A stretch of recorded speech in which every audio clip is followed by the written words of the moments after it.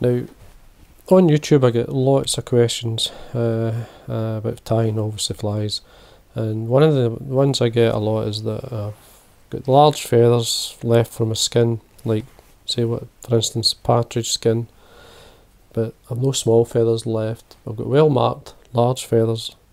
What could I use them for? Now I still like to use these on smaller flies, as you can wind them on large flies obviously, but you can use up these well marked and nice fibres or nice hackles for even smaller flies. Now, there's a couple of ways of actually tying them in, but the way I like to do it is basically to tie them forward and draw them back. Now, the simplest way to do it, now, what I like to do is, obviously this is a Pearsalls Silk, the orange, you could use whatever you have, it's an orange thread. First thing I've got to do is wax the thread.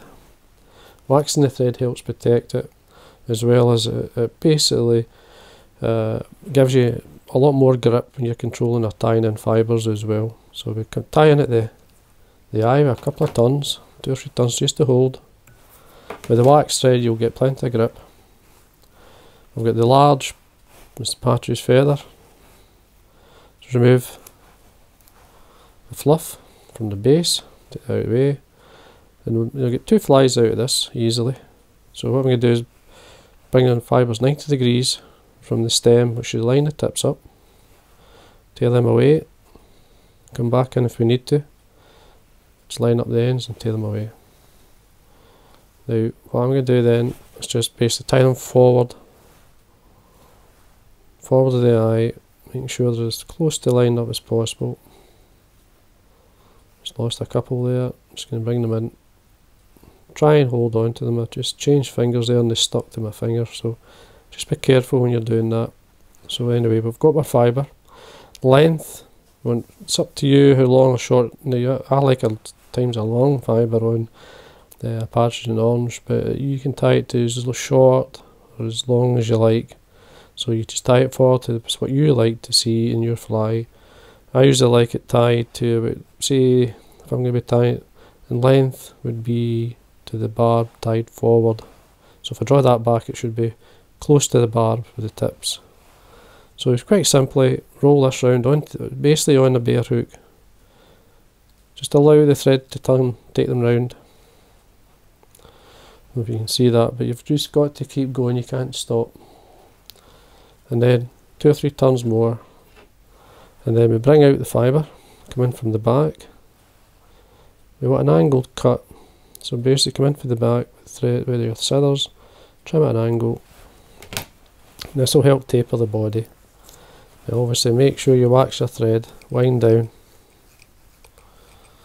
All I'm doing here is using up long fibre. Trim away this fibre here. You'll always have one or two. You can wind to the point of the hook or so. Now what I like to do is you can rib the fly with a thread which will give you a segmented like body all the way up. Now before I take the thread forward what I like to do is blow it back with the hairdryer. So just blow back the fibre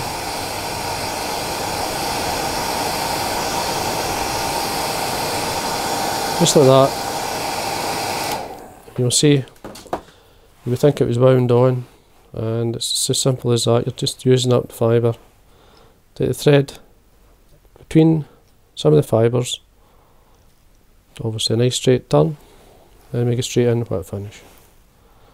And there we go. That's the easiest and the quickest way to tie or to use up some of these fibres.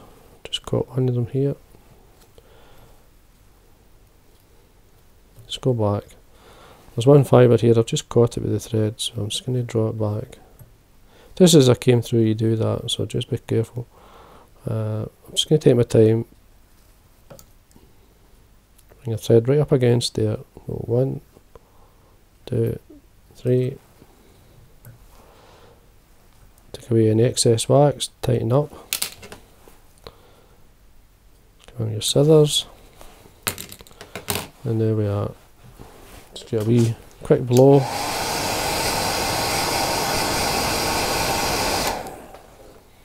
And all I have to do then is do a bit of varnish onto the head. And there you go. Now you'll get another fly with that feather. And it will swim well because the fibres are sitting out. A lot of movement in the fly. I say you could tie fill a box really quick. And at the same time you can use up all these large feathers with a nice well marked fibre that you would normally just leave or use in bigger flies but you can use them up, tie them to suit yourself. And you see it's a nice fly. And uh, heating it up as you can see it's glazed the, the wax gave it a nice shine. Changes the look of the body as well if you do that. Uh, with that wee bit of heat just but it sets it's, it works. This is a great pattern. Partridge gnomes is a great fly. Uh, so anyway that's hopefully answered your question about how to use up some of the the longer fibres. Now the Waterhen Bloa same in that. Some of the, the larger feathers there's not many feathers. You'd be surprised how quick you use up a set of wings or so. But as I say this is a great way of using up any long hackles that you have. So I hope you enjoyed that. If you enjoyed the videos Uh, please subscribe and thank you for watching